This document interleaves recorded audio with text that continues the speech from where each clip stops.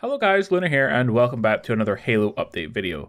One of the biggest issues with Halo right now is of course low XP awarded, with it taking over 20 games to level up the Battle Pass. This is after they applied the Play One Game challenges, updated weekly challenges, and the double XP duration had increased. Well, now the game has been updated to give more XP from the first six games every day to benefit those who play a lot or can only manage a little amount of time on Halo each day. So here are the changes that will be applied. For the first game, you will get an additional 300 XP bonus, the second game 200 XP, the third game 200 XP, the fourth game 100 XP, 5th 100 XP, 6th 100 XP, and every additional game after that will be 50 XP.